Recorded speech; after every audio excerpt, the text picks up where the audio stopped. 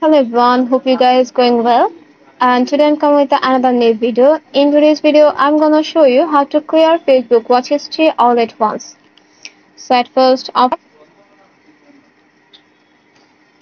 and tap on your profile picture at the right bottom corner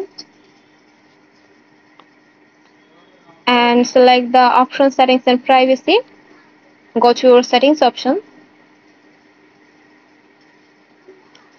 and scroll a bit down until you found the option activity log.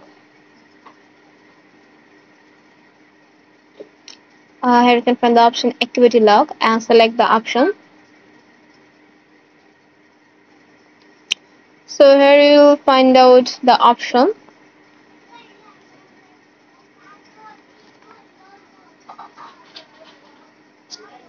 Here You can see the option videos you have watched.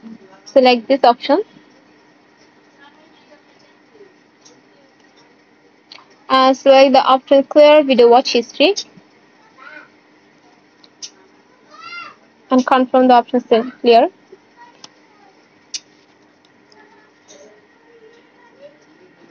As you can see it will take a little bit more time to clear your watch history.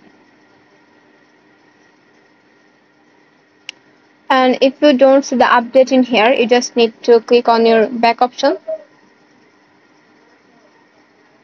and go to your activity log again.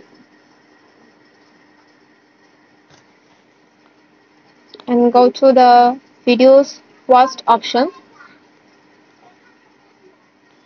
And here you can see our Facebook watch history is already cleared.